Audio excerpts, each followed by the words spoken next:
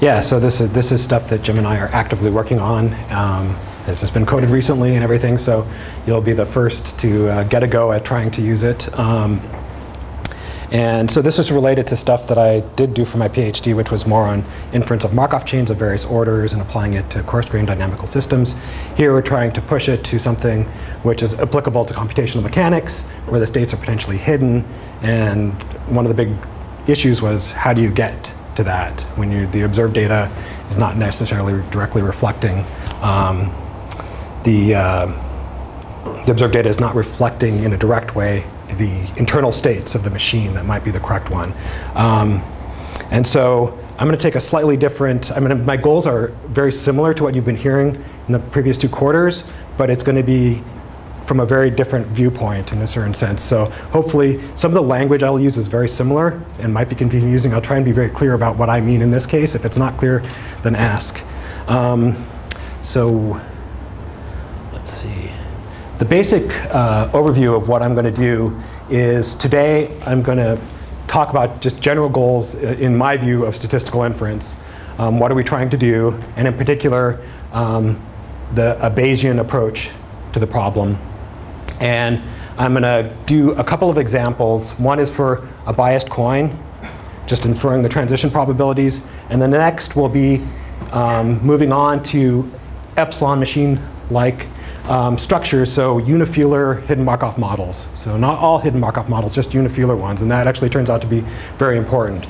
Um, and I'll do an example of something called the even-odd process, which is like the even process that you've seen, but slightly more complicated. Um, and all of today we're going to be focused on you have data and you have a known structure. You just want to infer transition probabilities. So what I mean by known structure is you know that there are a certain number of states. You know going from state A to state B emits a 1, but you don't know with what probability. So it's going to be figuring out what are those transition probabilities. And in the case of something where there are hidden states, what is the actual um, hidden state dynamics? What paths did it take through the machine? So we actually need to figure that out to infer these transition probabilities. And then the next uh, lecture is going to be on how do you actually then differentiate, given a certain data set, between structure A, structure B, and structure C. Um, and the approach that I have been working on is using um, Bayesian methods for model comparison and work by Ben Johnson, who had a way to enumerate unifilar hidden Markov models um, or topological epsilon machines in this case, um, which are more restricted than all unifilar hidden Markov models. Um, but in general, just let's try everything, pretty much. Enumerate all possible structures, and then for a given data set, which is the most likely, which is impossible, these kinds of things. Um, and so, of course, this is limited by computational power and all these kind of things. But actually, I think you can get quite far doing that. And so there I'll be doing two um, examples, or one example in particular, I'll be doing the even odd process. But in that case, what I'll be doing is not assuming a known structure. I'll be just saying, give me the data, and then I'll throw thousands of different topologies at it and see which is the right one and see if we can actually figure it out. Um, and then example four is going to be I'll do a survey of, one, of processes that you already know. Um, golden mean, even, and um, the SNS, which actually in this case will be out of class because that's non-unifilar.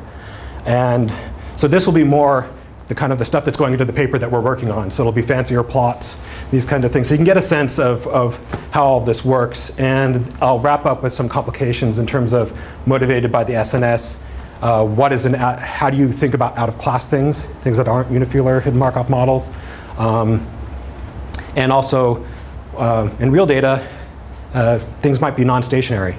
Um, how might you approach that kind of thing? So just kind of gotcha kind of things. And partially the way that I've, I've done this is I've tried to make it, I've, there's code in CMPy that does all of these things.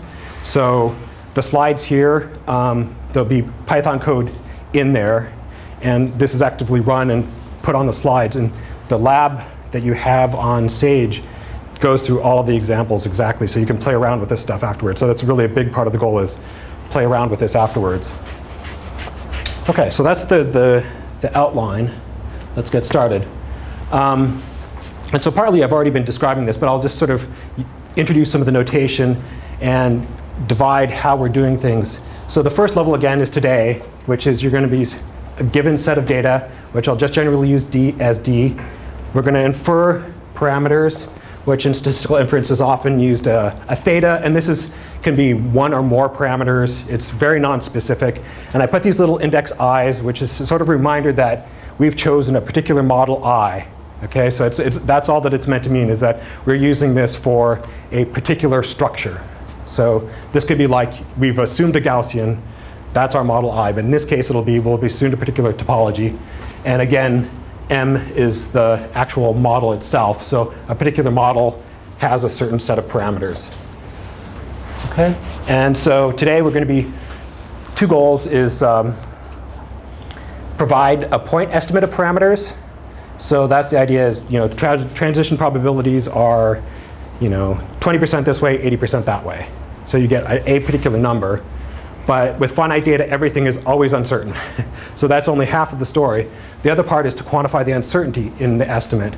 So actually, your transition probability might be, your estimate would be 10%, uh, but it might be between, you know, point, you know, 3% and 15% with 95%. What in Bayesian um, lingo would be called a credible interval.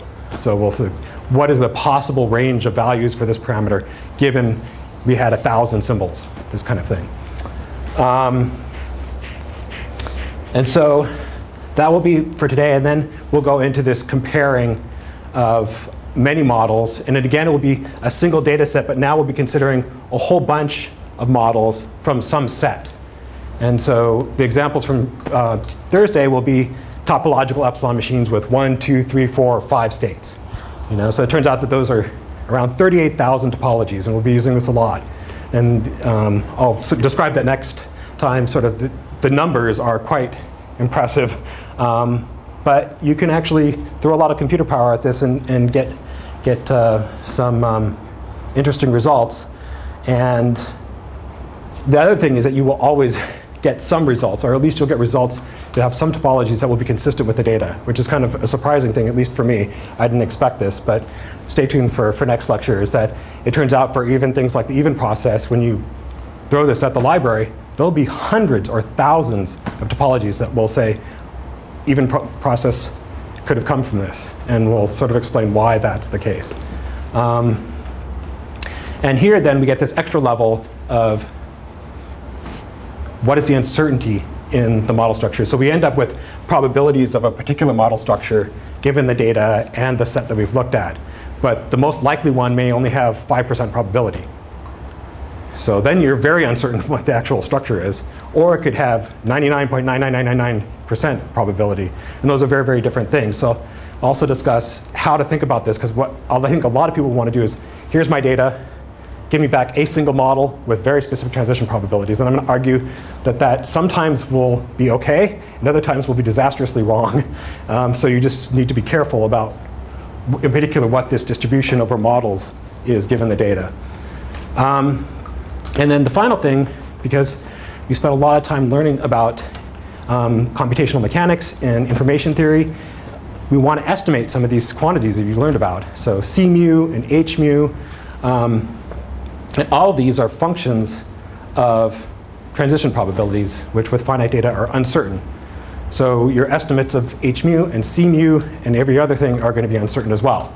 So I'm going to argue for this sampling approach to estimating sort of averages of these quantities and again credible intervals, intervals for these quantities that are a function of how much data you have, what models you're using, and all this kind of thing. So that's the big, big overview let's get into it. And for this first part, I'm going to be sort of building up the theory and introducing notation. So I think we've gone most through all the notation here. And so our goal at this first level here is to come up with this thing we call the posterior distribution, what is basically the probability density of the parameters given the data and the model. Um, and so this really is a probability density over the transition probabilities. So this is something that you can integrate over and will be one. Um, this is part of why we can sample from it. But how do we get there? Um, we have to build up things that you're probably familiar with in terms of a likelihood. We're going to have to define something that's a prior, which is often more mysterious if you haven't done Bayesian kind of things. Um, and one important thing to keep in note is this, this prior that we do have to choose is something that will affect what we get out here. So how you set the prior is actually important. You can set it very weakly and have it not affect what the posterior says, or you can set it very, very strongly and, and have very erroneous um, conclusions. So part of the goal will be to figure out what does your prior say, how much is the data contributing to it, and do this all in a reasonable way. Okay. So these are the, the basic elements at this first level. And I'll go through all of these very specifically for um, the biased coin example. And so the first is going to be the probability of the data given parameter settings and the model. And so actually this is very similar to the kinds of things that you've already been calculating, is that you know the transition probabilities. What is the probability that you saw a 000111? So basically it's that kind of thing, except in this context we're often thinking of this as we write down that probability, but we really don't know what the transition probabilities are. We can write it down and, and say that it's p to the 0 with a number of zeros in the, in the word and p to the 1 with a number of ones, but we don't know what they are um, what the transition probabilities are. And then the other part is this prior.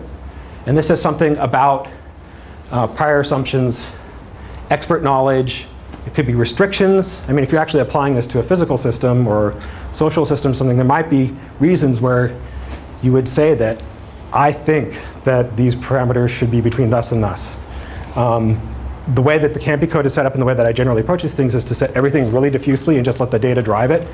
But um, this is something to be considered. And I don't think it's, it's necessarily a bad thing to use if you really have the, the, the, grounding for. And the other way to think about it is that if you have two data sets, your prior for the second data set could actually be the um, posterior from the first set. So it could be something that's informed by, you can add chunks of data and keep updating. And then this quantity here is something called the evidence, and actually turns out to be, we're going to see this over and over again, and it turns out to be just, it looks like a normalization constant in uh, Bayes' theorem, but it's a probability of the data given the model, and so it's very close to the likelihood, but what you end up doing is averaging over the uncertainty in your knowledge of the parameters. And so it's something about the probability data just given the model with, that, with taking into account that we are uncertain about the model parameters. And this will allow us to actually do model comparison at various levels, various levels. So we're going to have terms like this that will come up over and over again as we do model comparison, first for transition probabilities, then inferring start state, and then looking at different model topologies. There will be terms that are like this. So um, just a heads up to pay attention to that.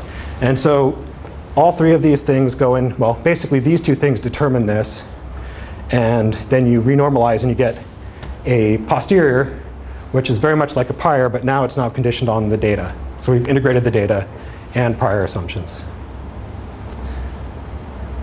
All right. So the basics of Bayes' theorem is this creature right here. And so the posterior is what we want. We have our prior, the likelihood, and then we have this evidence term. So like I said, the evidence term looks like a normalization constant. And the form of this depends, again, on whether or not these theta i, which is, again, a loose term for just whatever our parameters of interest are. For transition probabilities, these are going to be continuous. And this evidence will actually be an integral of the product of the likelihood and the prior. Whereas if it's discrete, for instance, trying to figure out what state our machine started in, it will be something that looks like this, where we iterate over the discrete choices of it could have been in start state A, B, C, or D before it generated the data we saw. Um, so this is a very general form for Bayes' theorem, and the normalization just depends on what types of parameters we're dealing with. So the biased coin. Um, so all this kind of stuff when it looks in kind of typeset. This is actual Python code in CMPy. So when you go to Sage and look at the notebooks, all this stuff will pretty, pretty much be verbatim there. So you can play around with it and get a sense of it. And I chose the biased coin as a particular, I think it seems like a trivial example, but it lets us get used to inference. But also we can think of this, and the way that I defined this in CMPy was to make a string and then that put that string to the CMPy machines from string. And so I made it actually into a recurrent epsilon machine within CMPy. And so this is just like the even process or random random XOR. It's something with a state and has edges. Okay, so I'm going to use this extra notation that looks extraneous when I'm doing the biased coin, but it's because that carries over to all of these other things. Um, and so I also chose a biased coin rather than a fair coin because the prior will, without any data, the default setting will on average be the fair coin.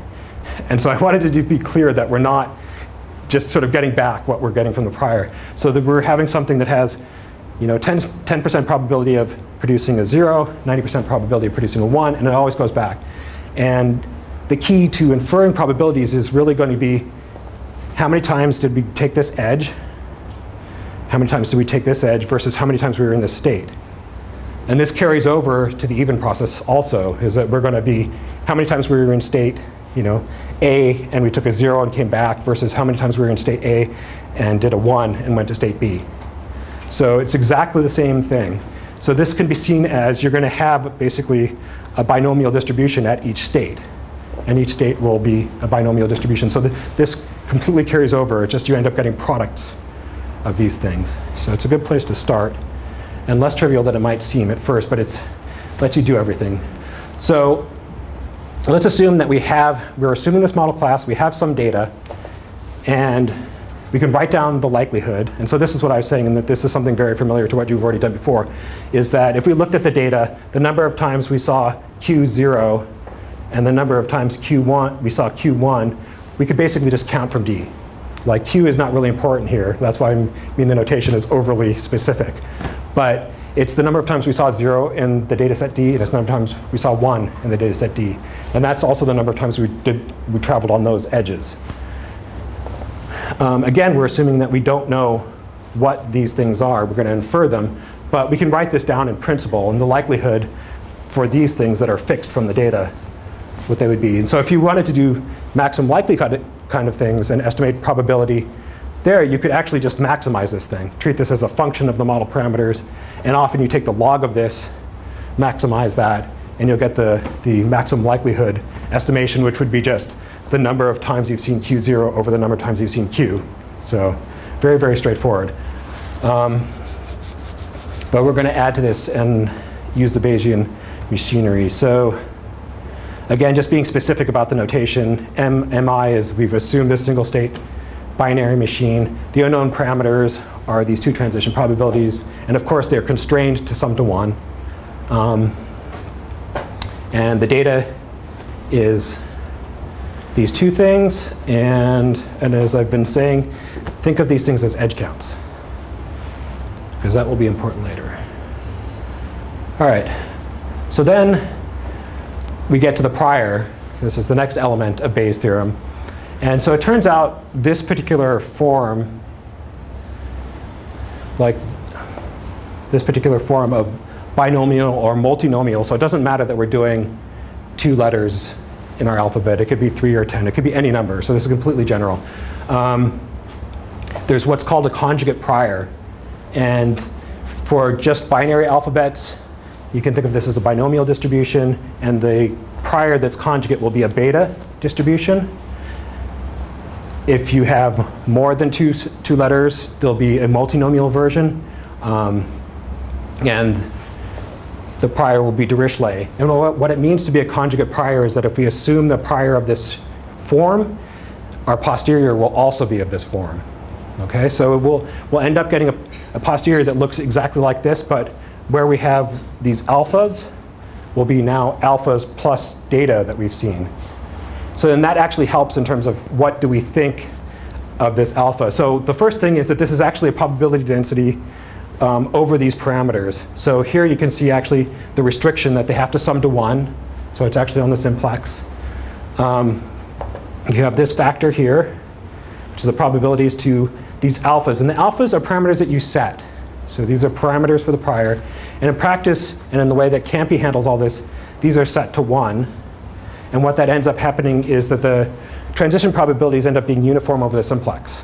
So your expectation is going to be 1 over the number, the alphabet size, but that will be the, only the expectation. You basically, you can see any value between 0 and 1 subject to the constraint that they sum to 1.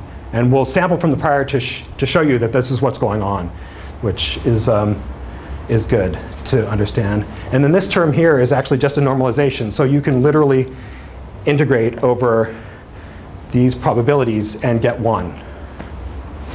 Okay?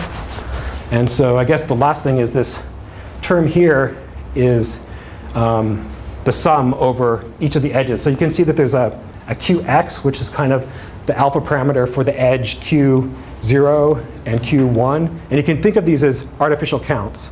So for, by setting 1, it's basically we said we've given one count to this edge and one count to that edge. And sometimes people who don't like to do Bayesian things will call this smoothing. but I mean, really, and it, you, for small data sets, it's important where you, know, you might get a maximum likelihood estimate of zero probability for something, but you don't really think that. And so partially this is what this is, what this is doing. Um, and then we also have a counterpart to the number of times we've seen a particular state, which is this thing where we sum over all outgoing edges. And so this is a value of 2 in this case. And of course, this depends on the size of the alphabet and how many edges you have on a state, these kind of things. And the way to think about how much the prior is saying about what you're inferring versus the data is to compare these values of the edge prior relative to the number of times you've actually seen it. So if you've never actually seen any traversals on the edge, your, your, your estimate is completely prior based. Whereas if you see some traversals on the edges. Um, it will be basically the number of, of Q0 versus the alpha Q0. So if the number of times you've done a zero is 1,000 and you've set alpha to 1, basically the data is driving it. And there'll be no difference between the maximum likelihood and the, and the posterior estimates. Um, it does become important when there's small data, and that's where I think everything becomes really important. And priors are sensible, and you know what you're setting. So I'll argue that it's a good thing to do, and that you can understand what it's doing relative to the data. Where are these from? Yeah. written in any book, textbooks, or uh, yeah. or which texts? Um, so like Wilks statistical mathematical statistics, like the so Dirichlet and multinomial distributions are well known. Yeah. Um, understand anything. Well, okay. I mean, I'll, I'll, give it. I'll give you a, a, sense of what it is. I mean, the way to think about it is that it's that it's a probability density over um, p q of 1 given q and 0 given q.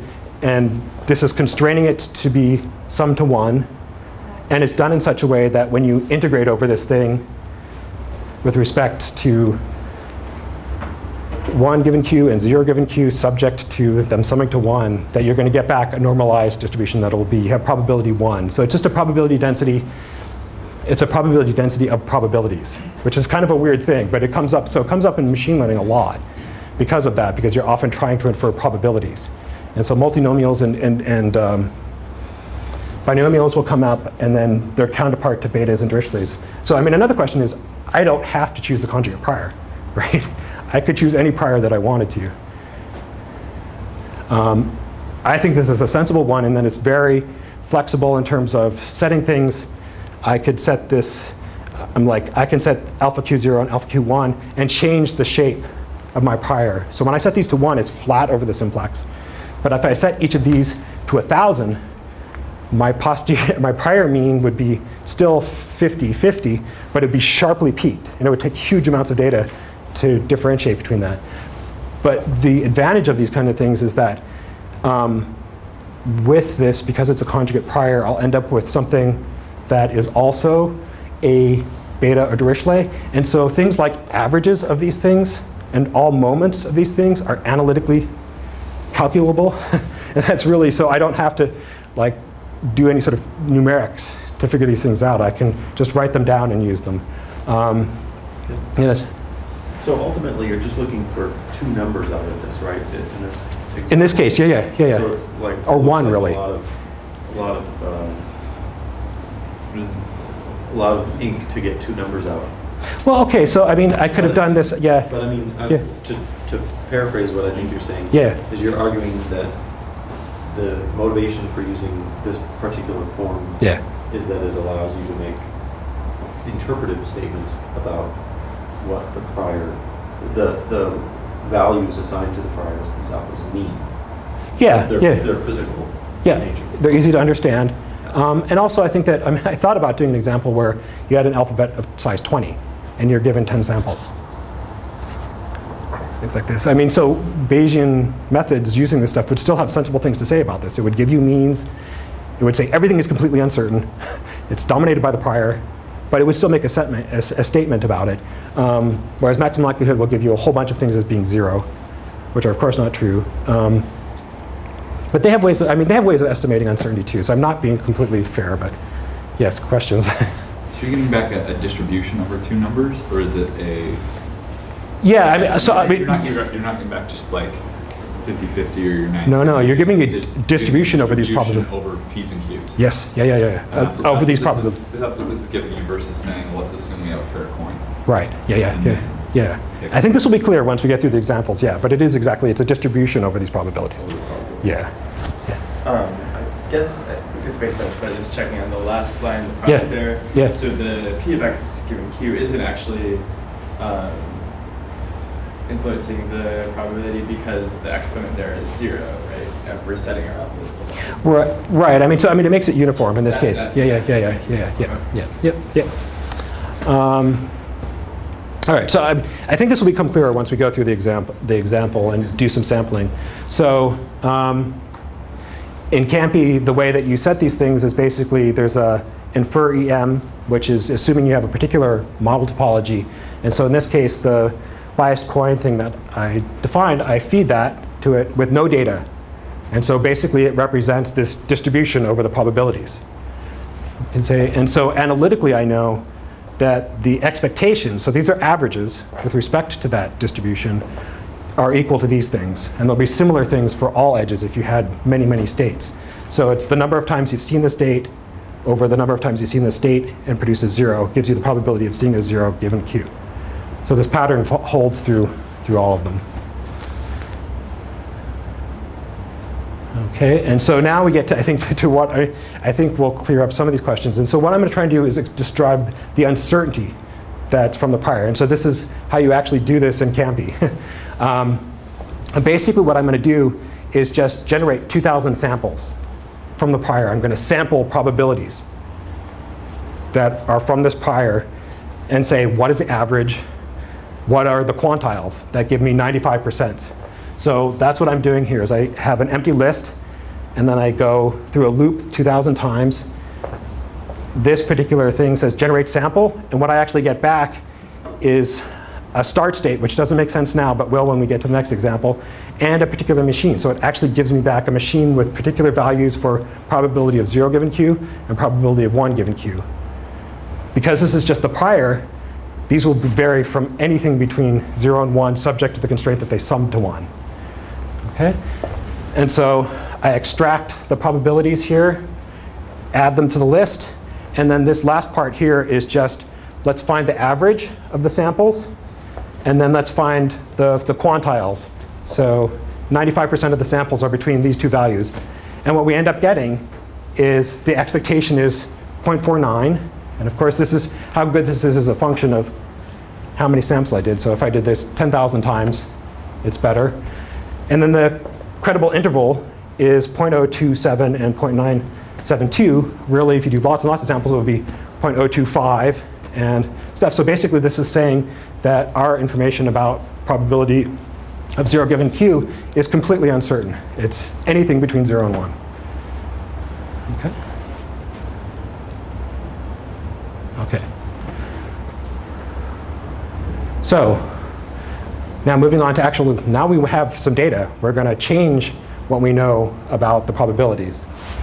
And to do that, we actually have to do this integral. So, and this is another reason for choosing the conjugate prior is that you can do this integral. In many, many cases, you cannot do this analytically. Um, and so, I mean, in some cases, they'll call this like the partition function problem. So this ends up being very much like a partition function from statistical, statistical physics. Um, but in this case, we can actually. And so this is actually the expression for the probability of the data given that. So we have a whole bunch of these gamma functions, which are n minus 1 factorial. And so the thing to notice here is that basically we have um, this term, which was the normalization from the prior, and then we have something that looks very similar but just flipped over, which now has both parameters from the prior and the data. So we have the number of times q was seen and the number of times qx was seen. And this will end up going into the denominator uh, Bayes theorem. This will cancel out with the term from our prior, and this term will flip over. And we'll end up with something that, again, is just a beta distribution. Okay. So again, uh, Bayes theorem, and then the actual analytic form for the posterior, which now is conditioned on the data. And so in terms of just looking at it squinty-eyed, it looks exactly the same as the prior, right? And that's the whole point of the conjugate prior. There's the same normalization term. There's the same requirement that probability sum to zero, or sum to one, sorry. And then you have everywhere, instead of just alpha from the prior, you have alpha plus data, alpha plus data. So here for states, here for edges, and here for edges. Okay? And so this is part another reason why we can think about these alphas as being sort of fake counts, you know, and, and think about how big alpha q is relative to nq and how much those determine the probabilities. And so if we do the expectations, again, we can do these analytically. So before, when we did these expectations of the two transition probabilities, without the data, we basically just had this part here. So we just had, or we just had the alphas without the data, but now we've added those two things in. And of course, these are done in such a way that you can add these and get one. Um, and the way that you do this in CMPy is to now just add, generate some data. So in this case, I'm going to generate just 200 simples. So I'm not going to give it a lot of data. But I'm going to give it some data and feed it to the inferm EM class, which I give it the structure and I give it the data. And given that it, both of those are passed to the, to the method or to the class, it will know that this is a posterior distribution rather than a prior, because you're, you're giving it data. Um, and basically what it does is it goes and it counts as the edges. Um. And so we can do the same thing is let's sample from the posterior. So this is exactly like what we did with the prior, but now we're doing the samples using the posterior we just generated. And so again, now we have a uh, distribution over probabilities that take into account our prior settings and our data. And so this distribution will be different than the prior because it's modified by the data. But the idea is, is uh, exactly the same. We're going to sample through each time we sample a machine, the start node, we extract the probability, add it here, and then we just look for the average, and we look for the credible interval, which we've made 95%, but it could be whatever you want it to be. And so here you get an expectation of 0.103. And if you remember the way I defined it, it, it, was 0.1, so not so bad. But for this amount of data, you would expect this not necessarily to be always that accurate. And that's kind of reflected by the fact that our 95% credible interval is between 0.6 and 0.15. So there's actually still a fairly large uncertainty in this. And so we can actually plot this and get a sense so I'm trying to make this really, really practical so that like if you have a data set and you're interested, in, you can just go and blast away with this. Um, and so basically all I'm doing here is, is um, doing histograms for each one. So I do a histogram for the samples that I had from the prior. I do a histogram for the samples I had from the posterior. And then I plot them both so we can see what they look like. And they should reflect the kinds of things that we were just talking about. So the, the blue is the prior. And so basically what you can see is that it's basically at 1 all the way across 0 and 1. And the reason that it's not uniform is it's 2,000 samples. It's a 2,000 samples representing a uniform distribution over 0 and 1. These are the samples from the posterior, and the true value is 0.1. So it says something like you can say a point estimate is the average with respect to this distribution. Um, you can do a maximum. There's also something called maximum a posteriori, so you can maximize these things. But I tend to just use the, the mean. Um, and then um, the breadth of this thing is meaningful. It's how certain are you of these things? Okay. So, and then I think where we start getting into the point where the things you've been thinking about um, in this class is, well, now we have a model, we have some sense of what the transition probabilities are, how uncertain we are. We want to do things like we want to estimate h mu and c mu and all these things. How would we do that? Um, well, we have distribution of these things, so we really want to take means and have credible intervals for all these things. So we're going to do exactly the same thing we were doing for the transition probabilities, but for any function that you want to. And um, you know, it's unfortunately not as simple as saying, like, take the analytic posterior mean for the transition probabilities and plug it in to p log p. You know, you, that doesn't work, unfortunately. Uh, well, I don't know. If lots and lots of data, that's fine. But in general, it's best to, to at least think about this. And the idea would be that you're going to sample a settings for the, the transition probabilities from your prior or from your posterior. And then when whatever is a function of those parameters, so the idea here is that this is a particular setting for the, the transition probabilities. We plug that into the h mu thing. We get a sample of h mu and repeat this over and over and over again. Okay, so it's just it's a numerical average and or a numerical sampling of, of these functions. So these should look really, really similar. And we'll, again, we'll do it for the, the entropy rate, for the prior, and for the posterior, just to look at what you might get. Um, so for the prior, now when we sample things, again, we're just getting a machine and a node. But because that's a machine, I can actually just call entropy rate. So I say what it is, get that, and I add it to my list.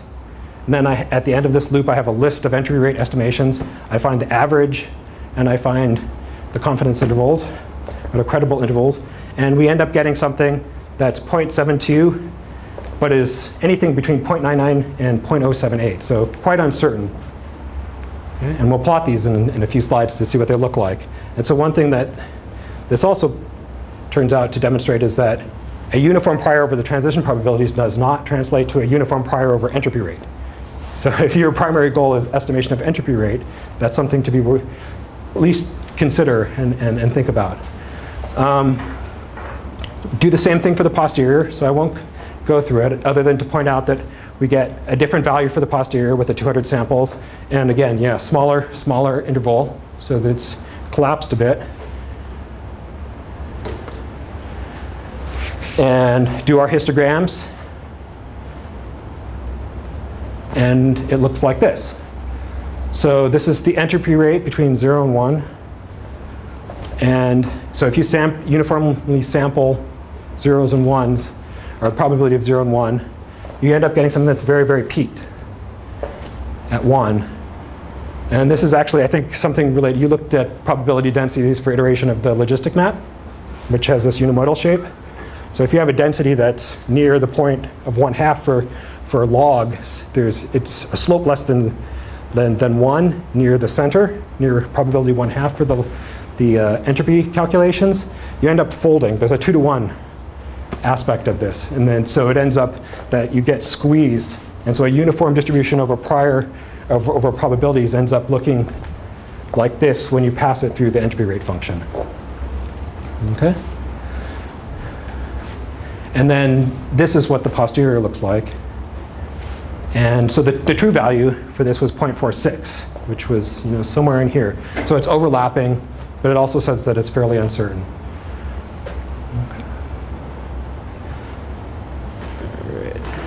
So I think that's the, the first example of like a very simple model, a prior, a posterior. Um, you can get point estimates, um, but there's uncertainty. And of course, these uncertainties reflect how much data there is. If this were 2,000 simples rather than 200, this would be much more sharply peaked. Um, and I think the other thing that's useful to think about is that, in particular for functions of these transition probabilities, if you're trying to, if that's the critical thing you're trying to look at, it may be important to understand what the prior says in terms of the prior you set for transition probabilities, how that affects what it says about the entropy rate.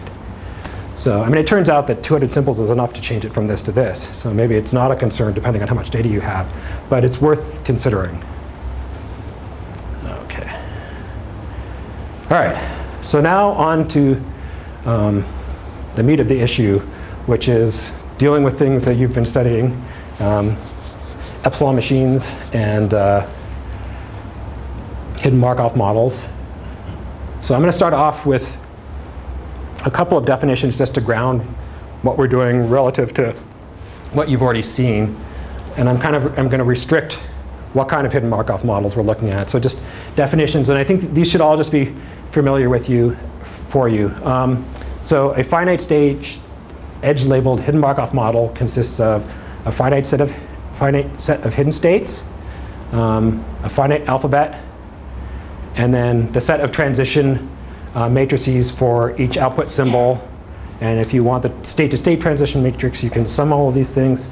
So it's a hidden Markov model that's unifilar. Well, I'll say unifilar in the next time, but in this case, it doesn't say that it has to be unifilar, but we will restrict that next. But it's an object very much like golden mean, even process that you've already been dealing with.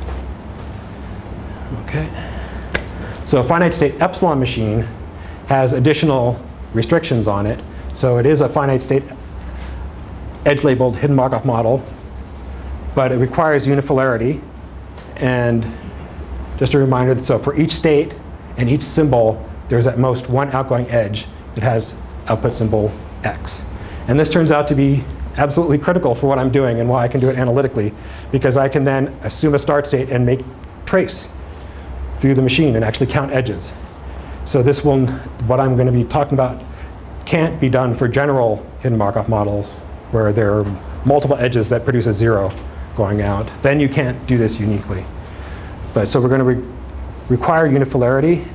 And then for an epsilon machine, we want the states to be probabilistically distinct. So there'll be some word for each state that's different, given that you start on k and j for every pair of nodes in, in the, the machine. Um, for what I'm doing necessarily, I'm not necessarily so concerned about whether or not it satisfies this and is actually an epsilon machine in terms of the inference. That's for later. You can test and see whether or not what you get is something that actually obeys this. But this could be just a unifilar hidden Markov model. It doesn't have to be minimal. So you can give it any structure, and it will still work. So I'm going to require this in what I'm doing. This, in terms of saying that it's an epsilon machine or not, is something to be tested and, and, and look at. OK, so how do we actually do the, hedge, the edge counting? So we've seen the fair coin model, and we, we're thinking about counting edges and counting state transitions. Now, how do we handle hidden states? And so the basic idea here is we assume this particular structure. We have some data that starts with these particular series of symbols. What edges were used, how many times, what states were visited, how many times. So really, really simple.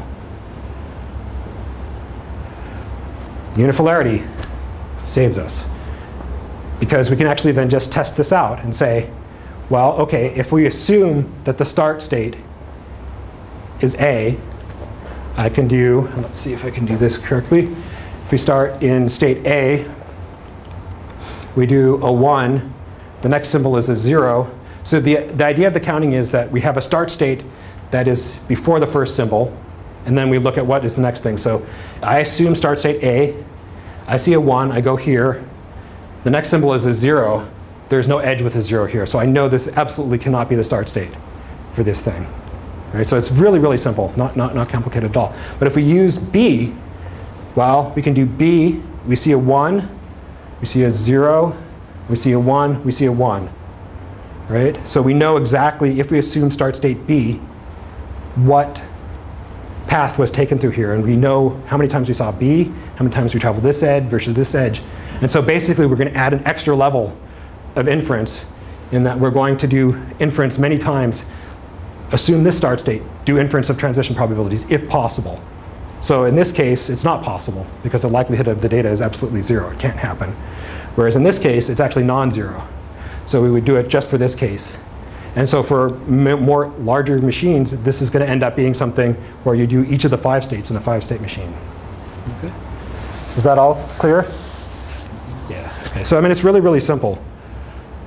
Um, how to handle it is builds on what we've done already, but I think the basic idea of, of how we get the counts is really important. And again, it's critical that we, we're unifilar structures. We couldn't do that counting if it weren't unifilar. So like we can't, if you feed SNS to my code, it will say ACK, non-unifilar. and it will just throw an exception. And that's because it can't count this way. Um, so now we're going to do inference, but we're going to assume a model structure and an assumed start state. And so you could almost think of this as a bunch of different models where you have a model and you assume start state A is one model, and you have a model or structure, and start state B is another model. And then we're going to do model comparison to choose which one is which.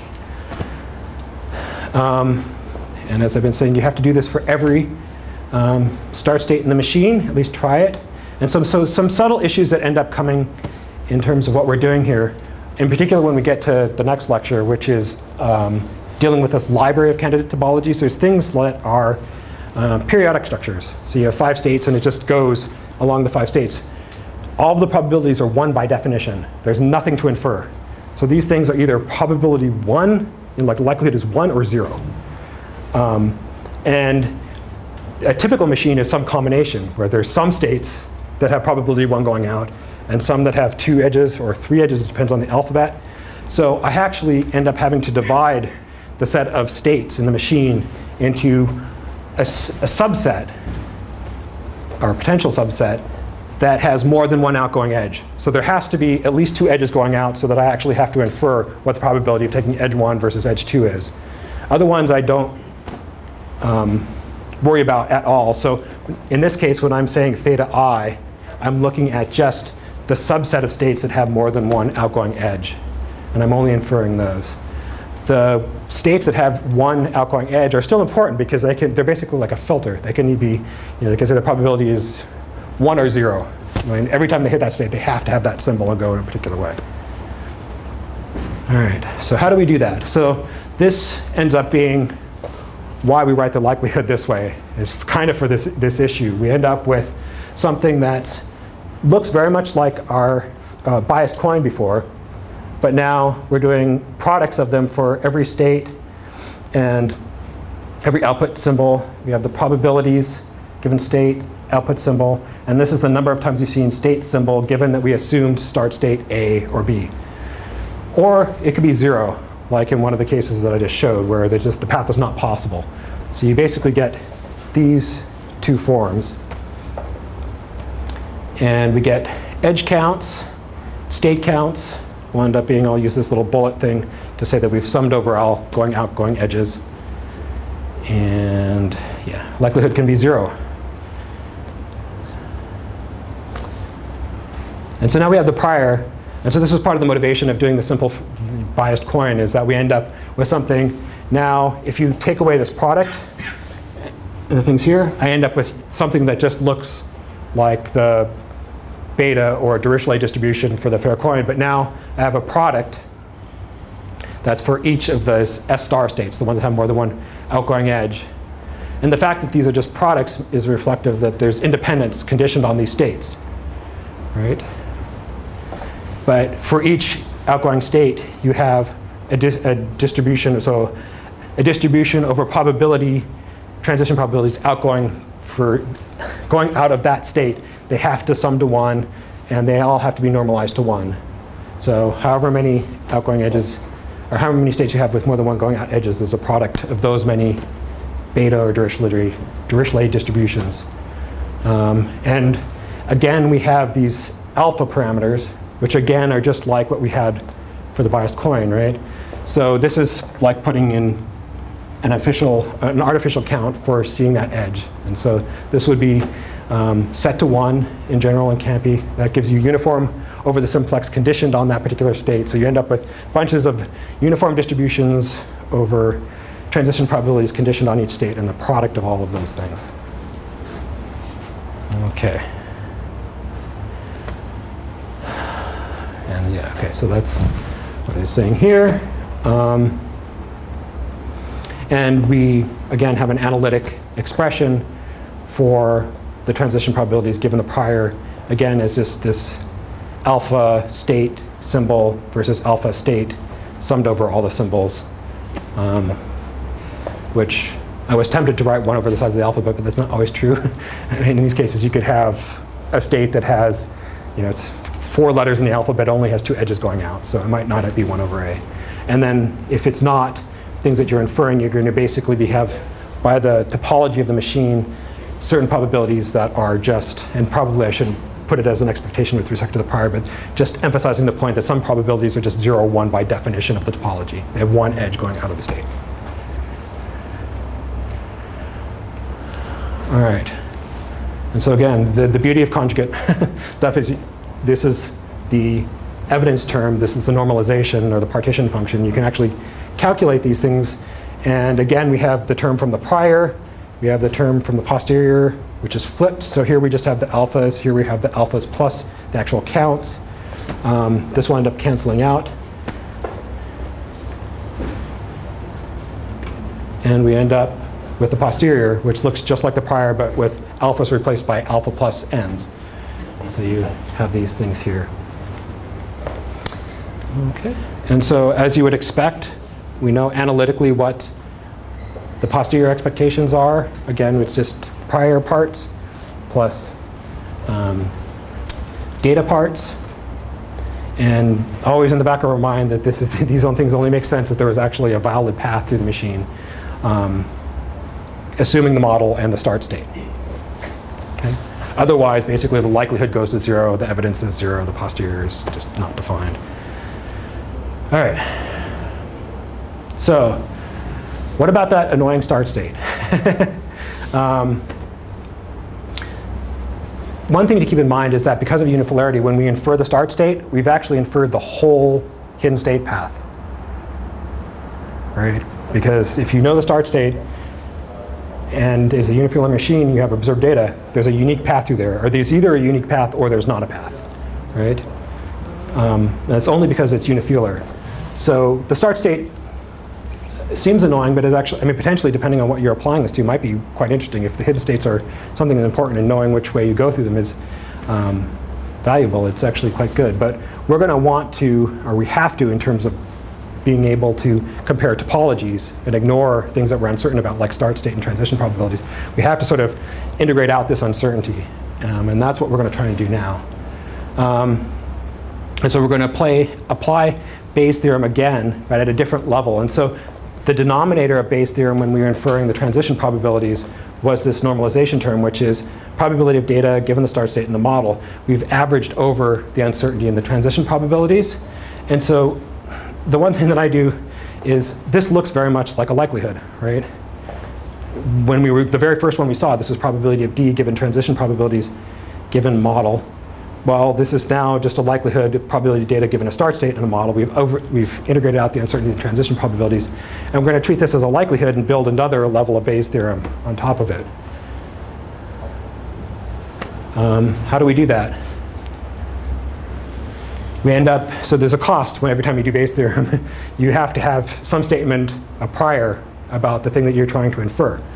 So here's this thing that came from inferring transition probabilities. And what we want is the probability of the start state given the data and that, the model topology.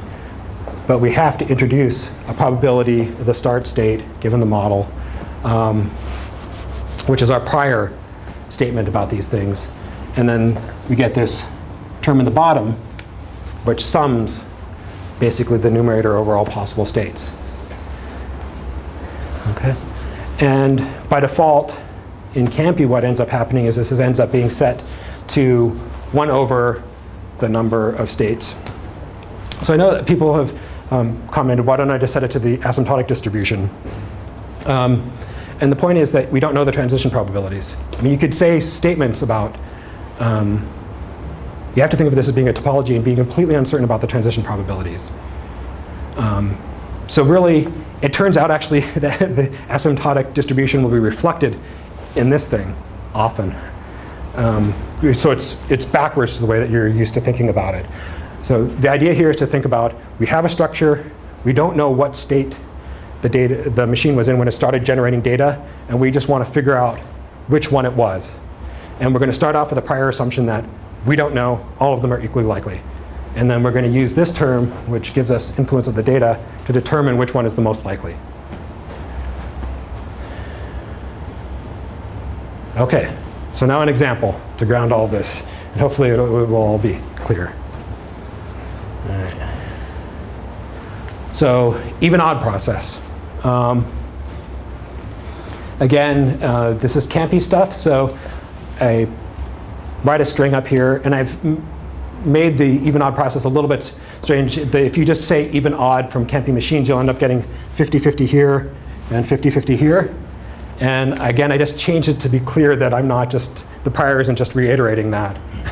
Because the expectations will look exactly like the machine, and that I think is confusing. So I'm going to be generating data with something where these probabilities are the ones that are generating the data. This is what I'm actually using. Okay? And so I create the actual machine, and then this thing is just printing this out here. Um, I guess on Sage you just do a normal draw. And then another thing to look at is here I can demonstrate the difference between, here's the set of all states, so A, B, C, D, whereas the ones that ha actually have more than one going out, outgoing edge are just A and C. So this has two outgoing edges, and this has two outgoing edges, whereas D, that's one by definition, B is one by definition. So I don't have to infer anything about those. Those, will either, those might make the likelihood for a given start state zero, but I don't actually have to infer the transition probabilities. OK. So again, I'm going to go pretty much through the same kind of things that I did with the fair coin. Um, but I want to be a little bit more careful to demonstrate the figuring out what the start state is and what actual edges are being traversed. And so here again, using the exact same code, now I feed it the EO machine. That gives me a prior because I didn't give it any data. Um, the machine, I'm actually going to set the current node to A. So it's going to be in state A. Um, so the data is going to start generating from here. We're going to see what the actual code gives us back. And then the data that I'm going to generate, it turns out um, that this symbols iter, if you actually want the machine to update the internal state, while it's generating the data, you want to use this rather than symbols. So each time it's generating a symbol and I'm adding it to the data, this EO machine is updating its internal state. So I can then print this out at the end and say, after the 200 symbols that I generated here, it was in state A again. Okay. And then we're also going to create a posterior. So the same as the prior, but now we're giving the machine and the data. And yeah, this just prints out what the last state was. So this code is basically just trying to say what are the probabilities of each of the start states and what is the state path. And so this is for the prior where there's no data, so it just doesn't have any information about it. So I'm just giving you an idea of what to expect when you do this. Um, and on the SAGE worksheet, there's a, um, a method that's called summary string when you have a prior or a posterior, which put a, spell out a whole bunch of information. So you'll be able to see that, but it just doesn't fit nicely on slides. So this is to give you an idea of what's going on. But the idea here is probability of each of the start states a priori is equal. So it's one fourth, one fourth, one fourth. We have no information about the start state.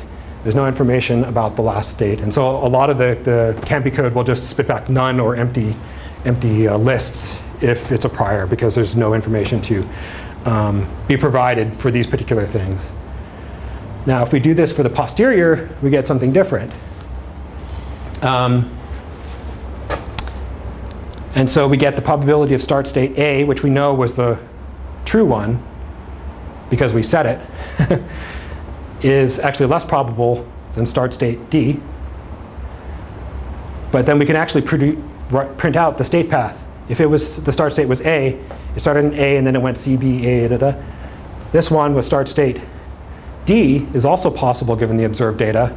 And it goes DC. One interesting thing that's very common in this inference thing is these first two symbols are different, but everything else is the same. Right? And the last state is the same. So this, the paths in terms of the edge counts are actually very, very similar. This is not always the case, but often is the case. And so if we go back to the um, thing, we can actually get a sense of why A and D might be um, common things. So one thing is that this is a high probability, so almost certainly the data went this way, one and then zero or something like that. And so D also has a probability of a one. Both of these have high probabilities. So the data is almost certainly something that went one, zero, or one, one, and you just can't tell the difference between these things. And then the, the relative probabilities of the two start states actually ends up being the fact that both of these are possible, but this is a transition probability of 0.9 and this is a probability of 1. And so it's actually just reflecting that fact.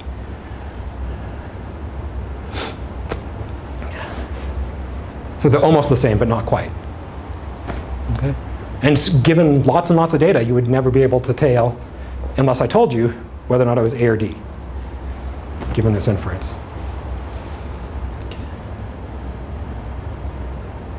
But in each case, so we've, for the posterior, we've ruled out state B, we've ruled out state C, and we have state A and we have state D as possible, and we can infer transition probabilities and all these things from them. Um,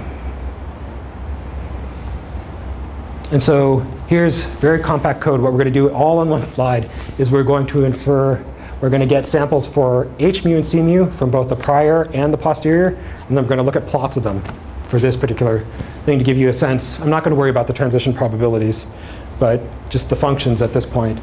And so here we have, again, we're going to do 2,000 samples. And then each time through, we do, for the prior, we generate a sample. We get, from that sample, we get H mu, we get C mu. We add them to their respective lists for the prior, because we use the prior here. Here we have samples from the posterior. We get the entropy rate, statistical complexity. We add them to the respective lists. So this creates 2,000 samples of H mu and C mu from the prior and the posterior um, for this even odd process. So what do we get? Um, histogram plotting. So the first thing is entropy rate, and this is the same kind of thing where we end up getting uh, blue is the, the prior.